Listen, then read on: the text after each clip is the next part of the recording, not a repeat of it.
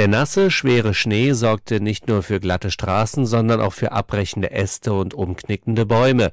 Im südlichen Odenwald mussten deswegen zahlreiche Straßen gesperrt werden. In Oberzent und in Hirschhorn an der Bergstraße gab es auch Stromausfälle. Im Erbacher Tal wurde ein Haus so schwer beschädigt, dass die drei Bewohner evakuiert werden mussten. In Erbach selbst war das Krankenhaus zwischenzeitlich abgeschnitten, weil die Straßen dorthin nicht mehr befahrbar waren. Im Modautal blieb ein Linienbus auf offener Straße stecken. Insgesamt zählten die Rettungskräfte weit über 100 Einsätze